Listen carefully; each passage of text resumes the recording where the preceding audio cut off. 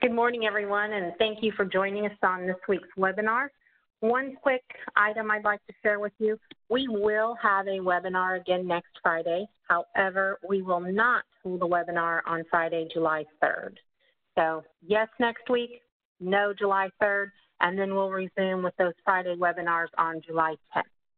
And with that, I will hand it over to Val. Good morning, everybody. Thank you for joining us again. I know people are still calling in because I could see the numbers going up. Uh, oh, oh, I lost my thing. Let me borrow yours. Sorry. I grabbed some papers, but not all the right ones. So a little update from the Fusion Cell, and we'll go do that first, Heike, is um, the Missouri Hospital Association on Wednesday posted regional COVID-19 data. Uh, so it's a great tool. It's available for everybody to use. It's on their website. So Heike is pulling it up right now. And if you'll see there, it says weekly regional dashboard. So these will be updated every week. And Heike, go to the Southwest region. Uh, for those of you that aren't aware, the Southwest region is now a hotspot that the state is monitoring. I did not bring my numbers in with me, but McDonald County, Newton County, and Jasper County are all um, seeing increases in cases. Uh, we do know there are some poultry processing plants down there that are doing major testing at this point. Also, a lot of other testing opportunities down there trying to figure out who's positive, how many positives there are, all, all of that. But in the meantime, there is still a lot of uh, positives occurring in that area. So that's why we're going to show that one just to give you some framework. And if you look at this, the first one is prevalence for the Southwest region in that box down there in the like middle. And statewide and regional prevalence, case rate per 100,000. And again, you look at case rate per 100,000 so that you can get a good compare. Oh no, stay there.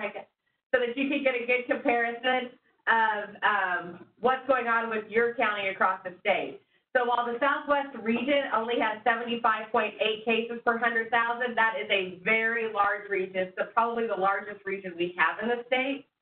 But you can see that in McDonald County, they had 373.6 cases per 100,000. And this is from data up until Wednesday. So this is not the most up-to-date data. With more are coming on there. So that number is only going to get higher. Uh, same for Jasper, Jasper and same for Newton. So we like this because it really gives you a good idea of what's going on around your area. The next box I want to point you to is the box called reproductive rate. And reproductive rate is the rate at which the uh, COVID-19 infection is spreading in the community. And you want that reproductive rate below one. If that reproductive rate is below one, then what that's saying is that if you have COVID-19, there's a pretty good chance you're not going to spread it to anybody else. But as that reproductive rate gets above one, if you have COVID-19, then you're going to spread it to somebody else, and they're going to spread it to somebody else. And as those reproductive rates go up, sometimes those are two, and sometimes those, those can be three. When we started this at the very beginning, our reproductive rates were between two and three. So we don't like to see those going up. Now, they're not going up a lot right now. And hopefully that testing in that area and getting folks um, Folks isolated, quarantined will help a lot. Okay, scroll down. And we've shown you these next slides before, even on a regional basis, but they're the projected hospitalizations in the Southwest region. And the yellow line is the median, so where you think it's going to be. The blue line is the low, and then the gray line is the high. So it's going to fall somewhere in there where we think hospitalizations will go are trending right now for the Southwest region. Obviously, we want to see that blue line be our reality. Um, cumulative case deaths of the Southwest region, so that is on here. And uh, Google Mobility Index, so this shows you how much traveling is happening in the Southwest region. And again, the blue line represents are we above or below the median deviation from the baseline of travel for that time. And then the, the, at the end, it shows you kind of where we think we could be going for travel. So travel is up in the Southwest region. Scrolling down, I like this box down here that says one week difference in the Southwest region. So it shows that hospitalizations are up 18 over one week for the Southwest region. Ventilated patients are up one over one week for the Southwest region. New admissions is not a category that we, we're working on getting as part of data that we get through a national data source, so that's really not available yet. New cases, 117, one week difference in the Southwest region, and deaths, one, which is a one week difference in the Southwest region. The next one over talks about ventilated patients in the Southwest region. So they have had uh, days of consecutive decline, two days of consecutive decline. So that is good overall in the number of patients. So the blue line is the number of people hospitalized, the orange is the number of people ventilated. So overall, hospitalizations are going down in the Southwest region for the last two days. Now, again, hospitalizations are a lagging indicator. So generally, people test positive, and then as they get sicker, they go to the hospital. So um, we'll be watching this closely over the next two to four weeks to see what happens here. Going down, and I, and I want to make sure you guys understand that. I mean, we have to look at these every week, and we have to watch them. For, this isn't going away, and I think these help people visualize that this is not going away. Um, okay, scroll down, Heike. Hello? Did I lose us? Okay. Um, she can't scroll down right now. I'm guessing it's stuck for some reason. There's also a lot of really good testing information down there on the number of tests that we've been performing in a week. So um, that, I wanted to just kind of talk through that a little bit. That will show you that the number of tests we've been performing in a week is down but are not to the level we need it to be. One of the challenges is actually getting all the data into the right place. So while we want that to actually show positive, right now that is showing kind of as a negative. But again, we don't have all the data for the last week that that's reporting on, and we know we're getting more of that data in all the time. So that's another one where as the technology gets better, the data gets a little bit more easy for us to get more quickly, and that will look a little bit better. So I just wanted to give you that. I know we sent that out across the state um, in our downwide downstream provider message on two, Wednesday. We sent it out the day that it came out through Missouri Hospitalization.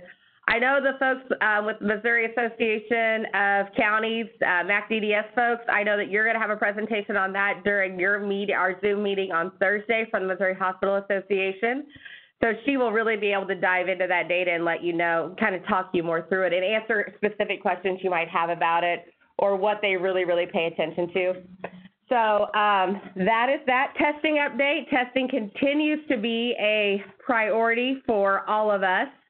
Um, we are working, uh, and thank you to all of the community providers that are answering our requests that are in search of testing. And thank you to the FQHCs who are reaching out and partnering with us to get this testing done. Um, we haven't got a lot of reports, and I know that there's testing happening and that, that we're not getting those reports in. So I, I really need those reports daily so that I can keep the governor's office updated at our level of testing. I understand that that's challenging, and we do the best with what we have every day, but I haven't had a DD provider report testing in the community this week, and I'm pretty sure we have DD community providers doing testing at this time. So please, please, please report that information so that we can keep it in our boxes and keep everybody happy with us meeting our Department of Mental Health testing goals that we've set for ourselves. And do the survey link. And do the survey link. That's Yes. what it needs. Yeah, it goes into the survey link, which we at DD Mail, it's got its own account and everything. So please, please send those in to us so that we can keep that up to date. Um, just so you know, we have the same challenges on our own state operative side, partly because we've been in that rhythm for so long. It's just really easy to forget, oh yeah, I needed to report 30 tests today or 40 tests today or 10 tests today. But that's fine. Just please, please, please report that information to us. I do not have a budget update at this time for you. Uh, nothing has changed between this week and last week. I do know that we are getting some questions about the CARES Act funding and the CARES Act application. So that is not us. That's the federal government. We've not filled that application out yet, have we, Gary? No, I mean, we will be filling it out for the state because the state's a Medicaid provider. But um, we have not done it yet, so we cannot a- answer your questions on that um, or your frustrations. We're still learning and looking at it also. So, um, but uh, somebody, I'm sure somebody will have it all figured out. They can probably reach out across those associations and you guys could work together. Also, if you are a TCM provider, you're probably a Medicaid only provider. You probably also will be able to access funding through this CARES Act funding. So it's not just for our our waiver service providers, it's also for our TCM providers. We think, we don't know, but we're going to try because the state's a TCM provider. A lot of you may be wondering why I'm trying to access this funding, Any funding that I can find that I, I can use to offset other core reductions or expenditure restrictions in our budget, I'm going to do. So that's why the state as a provider is trying to access this funding. We could turn around and give that to general revenue, then those maybe could lead to less cuts we have to take later. So that's why it's important for us to figure out how to do it also. Um, the governor also on the 15th, which may have been Monday or Tuesday, I don't remember. My days get all messed up now. Um, they issued through the Department of Health and Senior Services guidance for visitations, transitions at Missouri long-term care facilities. And so that guidance um, includes how to do facility visits. Our ICF ID facilities, so the HAB centers fall under this guidance because they license us. Again, this is just guidance. So I uh, want to make sure people understand that. And it's very clear in this guidance that the facilities have the decision on when to make the final decision to allow visits. But right now, what we're looking at, and according to this guidance, um, and I'll just kind of go over this with you briefly so that you understand, and we'll, it's, it's posted out there, and we will send it out to the downstream providers also. Um, the facility, facilities may want to consider the following when allowing visits. The facility has not had any COVID-19 staff or resident cases, or has it has been at least two incubation periods, 28 days total, since the last facility acquired COVID-19 positive case. So they want to make sure that you've been clear of COVID for at least 28 days. Um, and part of the way that you know that really as a provider is if you've had some testing done.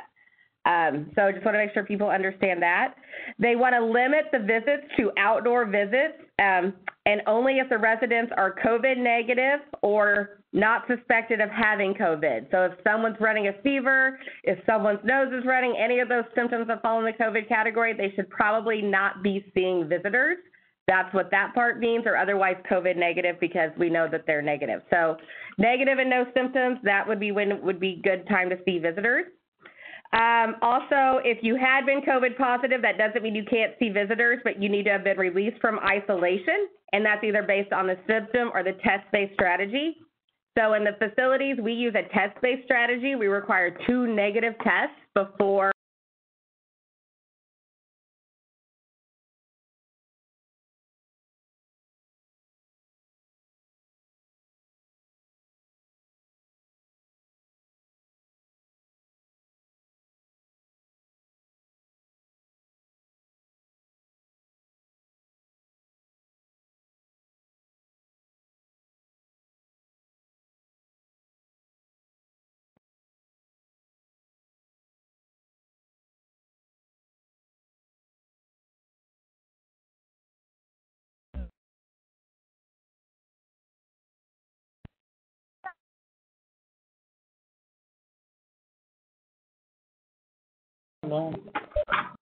All right, we heard we got muted. I'm not sure how long we've been muted for. I will just go back to um, I will get, thank you, Julie LePage, for listening in the other uh, office and knowing we got muted. We'll just go back real quick and go over this. So a facility to allow for visits, a facility needs to have not had a, pop. what the guidance says, a facility should not have had a COVID staff or resident positive for 28 days. Um, limit those visits to outdoors only and only when the residents are negative, not symptomatic, or considered no longer COVID positive. Also allowing up to two visitors at one time with social distancing, spaced by at least six feet. Good hand hygiene before and after each visit for both the resident and the visitors. And use of a cloth face covering or face mask for both the resident and the visitor. Now, we do recognize that not all residents can safely wear face masks. In the event that they cannot do that, it is recommended that a plastic partition or plexiglass barrier be considered to prevent the spread of the virus. So put that between them. A shower curtain, we're like a clear shower curtain totally achieves that goal. So um, anyway, those are some things. Also, you want to make sure you screen every visitor that comes to the facility and only amount, only allow in visitors that meet your screening criteria. Um, so again, we will post this out on our website. You want to make sure you keep visitor logs. You want to sanitize any outdoor areas, including tables, chairs, and partitions between each and every visit. That's the guidance for uh, long-term care facility visits. They've also, which would apply a lot to what we're doing too, and is good advice for us as well. They're also looking at guidance for communal dining and group activities. And again, same same limited preferences up front. You know, make sure you haven't had an outbreak for 28 days. Um, still limit dining and group activities only to the residents who are negative or not symptomatic or are considered, for lack of a better term, recovered from COVID. you still want to allow those residents to eat in the same room, but you want to impact social distancing. That's six feet apart, hand hygiene, and cloth face coverings and face masks while not eating. So the rest of the time they're together. Um, generally, you still restrict group activities but you can allow those with social distancing, good hand hygiene, and again, the use of cloth face coverings or face masks if they are available. Also, um, so that those are really the two key guidelines. They're still looking at overall guidelines for reopening for nursing homes, and we will share those when they're available. But there's a lot of good tips in there and a lot of good ways to help try to get families back together, which is what we're really hoping for. Don't forget, too, we did post a planning guide out on our website for people to utilize to help try to make decisions on visiting, accessing the community, all of those things as well. So I still want to say it is an individual decision, and um, we need to make sure we keep in mind the uh, rights, desires, and needs of the individuals that we're supporting. Um, the next thing I wanted to talk about is ISPs, authorizations, and backlogs. The ISP authorization backlog, sorry. So one of uh, the challenges that we have in our system, part of it's the way it's set up, part of it is communication. There's a lot, always, there's always a good reason why we have a backlog in authorizations, or there's always a reason. I don't want to say good. There's always a reason why there is a backlog on an authorization for an ISP but we have got to do a better job of getting those cleared up. And I say that because our providers are struggling right now. And if they've got billables and they cannot, they are taking care of people. And if they cannot get those billables billed, they cannot get paid. And we have got to get that money out to them. So if you are currently supervising support coordination, either for the state or privately, please check to see if you have people contributing to this problem. We know it is both in state case management and in private case management. we are working with those individuals, but please, as an agency director or lead, please check into this because we need to make sure that our providers are getting paid. They are delivering these supports today. Um, and really, we've had we've had several months here with no travel and no face-to-face visits, so it's been a good opportunity to try to clean up as much of that stuff as you can. And that's going to be coming to an end. And we want to make sure that you're still focusing on it, even though we're going to try to pick up on making visits with individuals. And we're going to talk about that here in a minute. Um, so, okay, that, that's that with that, I do kind of want to talk about our reentry plan, reopening plan. Right now, our target date is July 1st. I say that because what I'm going to say and what Wendy's going to say and what Gary's going to say is going to tri- trigger a lot of questions, and that is good. We want it to trigger a lot of questions because we need help as we try to figure this out. We've never done this before. Um, but with that said, our plan is to open regional offices by appointment only, so they will not be open to the public.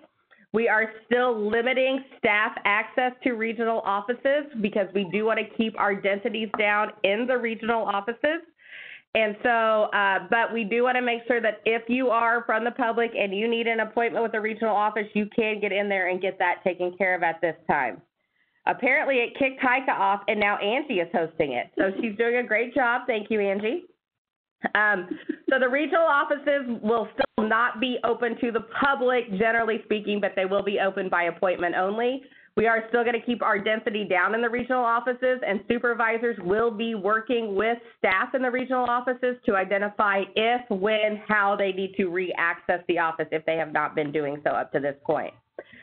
Staff who want to return to work, and we know that we have staff that want to return to er, work and get into the office, they need to work with their supervisors to coordinate schedules to avoid over, overcrowding in the offices. Again, returning to the office is not required for individuals who have been able to successfully accomplish their work from home at this time.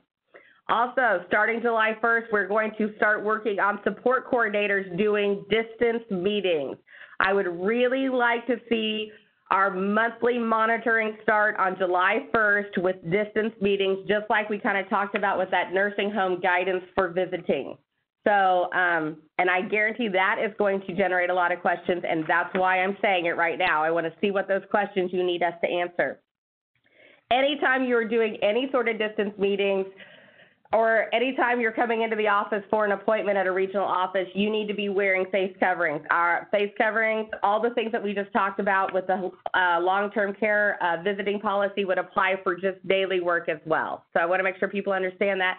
Face coverings, six feet apart. If you can't do that, let's try to find a way to put some sort of, plexiglass, clear shower curtain, something in the way so that you can do the work that needs to be done. Um, also, monitoring functions will resume from the regional office side, but only in provider offices. We will not be going into homes at this point in time. Again, our goal is not to go into the homes, but our goal is to do as much of the work we can do this summer, right now, so that we can uh, make sure that folks are safe and well taken care of. So that is where we're at right now. We do have 472 people on the call today so far, so thank you. Define distance meetings. So, so there, the question came in. Again, you go to um, an individual who lives in an individual supported living arrangement. You guys meet outside. You're six feet apart. You're asking your questions. You're doing your monitoring visit. So there's parts of your monitoring visit that would require you to go inside. Those parts we're not asking you to start doing at this point. But we do want to make some face-to-face contact with individuals at this point. So that's what I mean. But you still got to be six feet apart. You still got to wear your mask you still, the, those things are all important and, and need to be adhered to at this point. Okay, with that, I am going to turn it over to Wendy. And I don't have um, a whole lot to share. We're going to talk just a little bit about stories from the field. We've had a suggestion and a request that we open it up to more people who would like to listen, and so we're going to be opening it up to providers TCM providers and service providers and our state staff who want to um, hear from our panel about that are talking about what's going on in their agencies and in their areas. So we're going to give that a try, not starting next week, but the week after. So um, next week, actually, we are going to not have our stories from the field call because we are going to make that time available for an HHS Provider Relief Fund webcast that airs at that time on Tuesday. June 23rd from 1 to 2.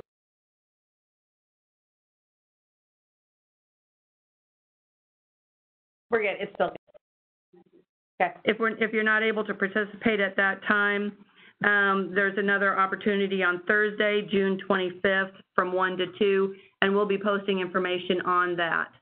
So um, no stories from the field on next Tuesday. Those folks that were scheduled for Tuesday, we will reschedule you for the following week. So, and that is all I have. Gary. So this is um, falls under the category of other news. So most of you are aware the division did an RFP for a new case management system to pull our waiver and TCM services out of CIMOR. Um, we finished the evaluation some time ago, but the award has been under protest. Well, we think the protest is pretty close to being answered, so we're going to begin work pretty soon. So that project is still going. And once again, that was a CMS approved funding project, so um, it's still good to go, as, and I, we think work will be starting pretty soon. Very good. So if you have any questions about that or anything, um, just please let us know. But announce your other thing. Oh. so Val's want me to share more. Um, so we've announced internally that I'm going to be retiring effective September 1, um, but hopefully we'll still be able to contribute in some ways, but now looking forward to that. Um, and there we go. Just thought it was time. Congratulations, Gary. So um, he will be well. He will be missed across the department and across the state. You all have been working with Gary for how many years, Gary? Oh, it'll be 34 years plus. So it doesn't seem that long, but Time flies. Time flies. Yeah. Very, very good. So, um, and the world keeps spinning. yes, every it day, does. Yes, every it day. does. All right, what else we got on that agenda?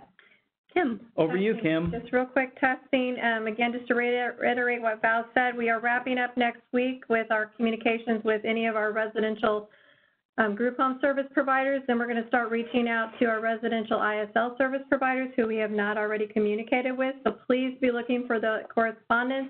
And please, please, please make sure that you're going out to the DD mailbox and letting us know if you are or are not interested in testing efforts. And if you are, and you start doing your testing efforts, please make sure that you're providing us your updates on all the great work that you're doing around baseline testing.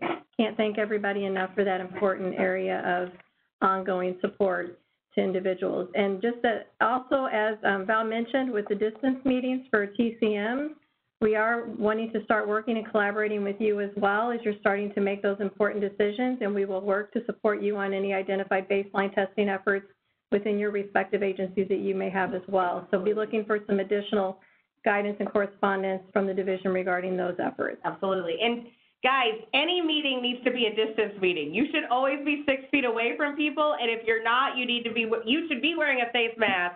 But if you're not six feet away from people, you should absolutely be wearing a face mask. So I just want to make sure that it, the, the type of meeting doesn't dictate whether distance is necessary or not. COVID-19 is still active in the community. It is still active in the state of Missouri, and distancing is still the best way to prevent from getting COVID-19. So, as Gary backs away. No.